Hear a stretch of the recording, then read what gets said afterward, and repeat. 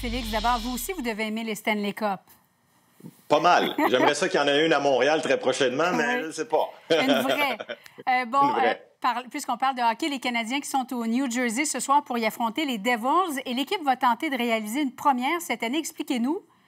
Eh, peux-tu croire, Julie, que l'équipe pourrait gagner deux matchs de suite en temps réglementaire pour la première fois de la saison? première. Cette année. Et là, on arrive à la mi-janvier. Alors, c'est un peu le genre de saison que nous font vivre les joueurs du Canadien.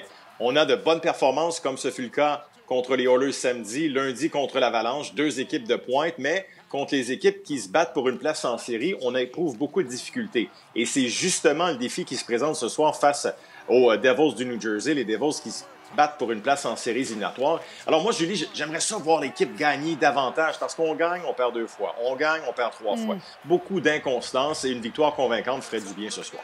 Bon, parlant d'une équipe qui gagne, hockey féminin, Félix, qui euh, gagne aussi en popularité, la toute nouvelle équipe de Montréal attire les foules. Il y a eu 3000 personnes samedi à Verdun, plus de 6000 personnes hier à Laval.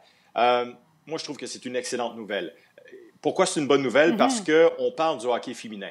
Euh, on voit les faits saillants à la télé. Toi et moi, nous en parlons. Les gens en parlent de plus en plus. Et en ce moment-là, les buts, les points, qui gagne, qui gagne pas, c'est pas grave. C'est la progression du hockey féminin qui est important. Et pour le moment, moi, ce que j'entends dans mon entourage, il n'y a pas de jugement là, par rapport à, ah oui, la Ligue nationale ou les gars ou les hommes font ci. Non, le spectacle est bon. On juge ce qu'on voit présentement et je suis très heureux pour le hockey féminin en ce moment. Oui, et on fait bien d'en parler, effectivement. Au tennis, le parcours de Leila Annie Fernandez est terminé en Australie.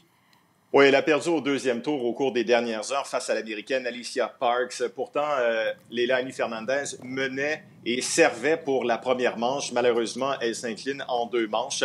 Alors, c'est maintenant terminé son parcours en Australie. Je vais surveiller, Julie, euh, le Québécois Félix Auger-Aliassime qui va disputer dans les prochaines heures son match de deuxième tour face à Hugo Grenier, classé 178e au monde. Auger-Aliassime, c'est un match qui est à sa portée. Merci. Bon match, Félix. Au revoir.